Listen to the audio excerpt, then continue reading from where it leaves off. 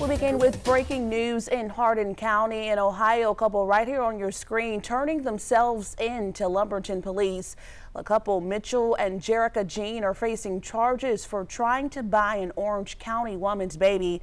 Good afternoon. Lumberton police tells 12 News the couple tried to illegally adopt the baby in 2021. The baby's mother is also facing charges. Harley Matthews is accused of both trying to sell her child and health care fraud. 12 News reporter Kayla Shote is live at the Hardin County Jail this morning. Kayla, what are you learning from police? Court records say Harley Matthews tried to sell her baby for $5,000. Police say she knew the Jeanes well because she lived with them at one time. This was all brought to attention by a nurse at the hospital where the baby was born. Jeane was at the hospital with Matthews, pretending to be her.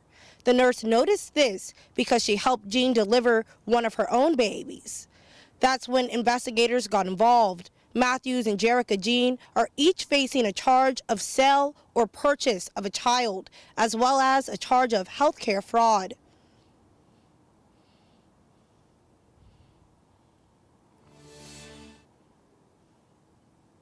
Matthews turned herself in a couple of days ago, and if found guilty, all three could each face two to 10 years in prison. Live in front of the Hardin County Jail, Kayla Shote, 12 News.